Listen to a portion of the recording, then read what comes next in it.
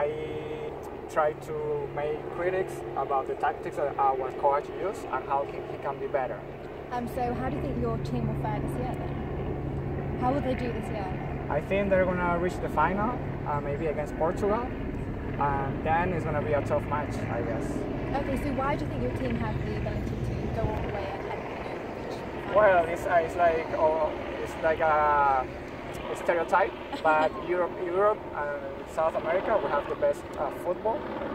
And Germany came with a young team. I don't think they're gonna go anywhere.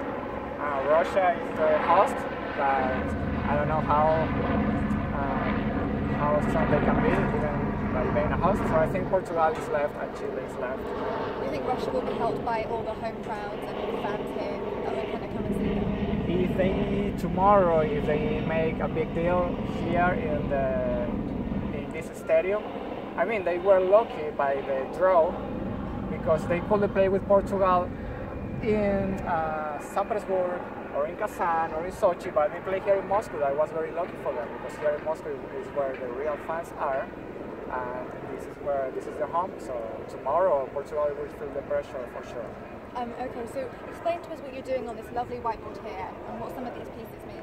Okay, what I'm doing right now is uh, I don't know if you remember, but Chile beat uh, Mexico 7-0 last year. Yes. So I, every time I start a video, I have that team here in my Okay. board. And then when I start talking about a particular match, I remove the players and I put the players who actually plays because I want to remind people all the time about this team. This is the best team Chile has. This is the team that Chile used play every time they play, except very particular cases that you maybe adapt to the other team. But this is the team I call. Actually, I made a call for uh, the coach, Pizzi. If he plays with this team and he lose, I close. I shut down my YouTube channel. Oh, okay. So Uh, let's hope he listens to you then, right? Huh? Let's hope he listens to your advice. I hope he uses it because I want to be. I want to see Chile champion all the time, winning all the time. So it, uh, he's not gonna lose. I'm completely sure about that. Okay, so you pointed to this one. This is the coach. This is the coach because his last name is Pizzi. Uh, makes sense. Yes. and and what are what are these players then? Okay, this is a soccer ball I use sometimes Ah, for this. cool. So uh, the nick, this I have personalized uh, tokens. I don't know how to do, say Uh, this. yeah, um, like magnets, I Yeah, like magnets. Yeah. Yes, there you go. Magnets for uh, for every player that plays in that in that match. So okay. explain to yes. us, so this one is. Captain America. Ah, okay. It means Claudio Bravo because he's the captain of the team. Ah, okay. So Captain America. Then the nickname of uh, Gary Medel is the Pitbull. So this is a Pitbull. Okay, okay. This is very famous, unfortunate story. I don't know. You know about Copa Yes, America, the do. finger. So Uh-huh. you know which this player. Maybe you don't know the, his name, but you remember. Yeah, I remember Okay, this is this player, uh, Gonzalo Jara. I represent him with a finger for this story. The Then- history. Yeah, the finger Yeah, against the history, yeah. So then uh, we have here is this is a duck Donald Duck. because this is a, yes, this is a Marcelo Diaz, and he his nickname is the Duck, one of his several nicknames. Then we have Guillaume Beausejour. He's from Haiti. The, the parents or one, his father is from Haiti. Okay. So we usually in Chile everybody's like Indian like me, but he's a little bit darker. Ah, okay. So this is why this is the So color for him. tanned by. Yes.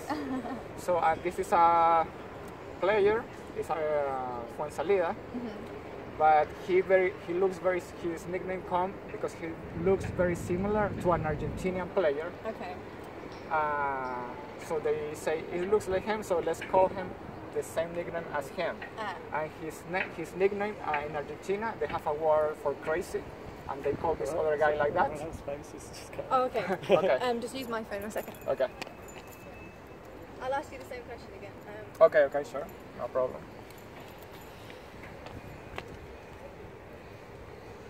Let's hope you don't cut out in this one. Um, let me know if you um, need to adjust it or anything. Is it right way? Just make sure your finger doesn't cover that. That. Otherwise, it's not easy. Just double click. Yeah, if your finger cover up the microphone, you won't listen Exactly. anything.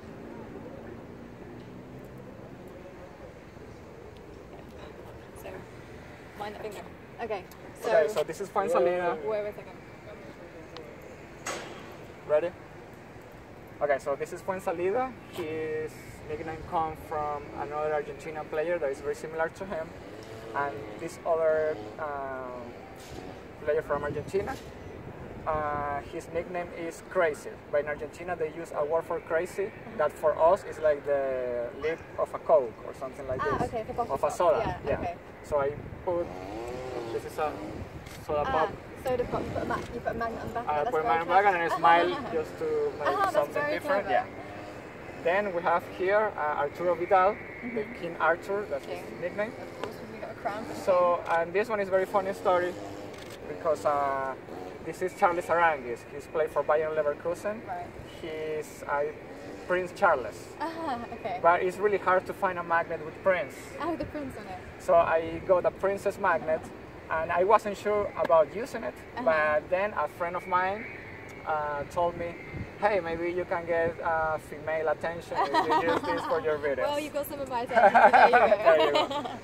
So this one is uh, uh, Eduardo Vargas. okay. Eduardo, now the, his new nickname Okay. is Eduardo Var Gas. Vargas. Okay. Do you know what VAR means? No. VAR is this new referee technology. Ah, okay. So he has yeah. scored two goals, and Ah. both goals has to be reviewed by the VAR. Ah, okay. So VAR technology. Yes. Ah, I get it. So he scored two goals here in this stadium Uh-huh. two days ago, and both goals have to be reviewed. One of the, them was void, and the other one was valid. There we go. So he has a tattoo here for Michael Jordan long ago when I started my YouTube channel, but now he has a bigger thing because everybody was making fun of him. Why you have Oh. a basketball player if you play soccer? we like all sports here, so we don't mind. yeah, but he changed He changed it. Never. And then this is uh, Eduardo. Puch. Yes, because he has a band and he also plays music. Ah, he's a musician, so kind of music on there. like as a hobby, yes. And this is Alexis Sanchez. He plays for Arsenal. Okay. You might be familiar. Yes. so Niño Maravilla, Batman and Robin. In, Yes. in Spanish, Niño Maravilla is like Wonder Boy, Ba- Batman and Robin. Okay. So this is a Robin. Ah, so we've got a, a Robin superhero there. Yeah, this is like the teen version of Robin that Ah, okay. for new generations. There we go, learning something. So that's pretty much it. This is PC, the coach. The coach. okay? And the only, because I love cats, the only player from the bench that has personalized Okay. uh, magnet is the cat. Is he's uh, Francisco Silva. So his his nickname is Silva Cat, Silver cat. and he also scored the last penalty in the so he gets special. yeah the last penalty in the Copa Centenario who made gave us the victory. That's brilliant. Yes.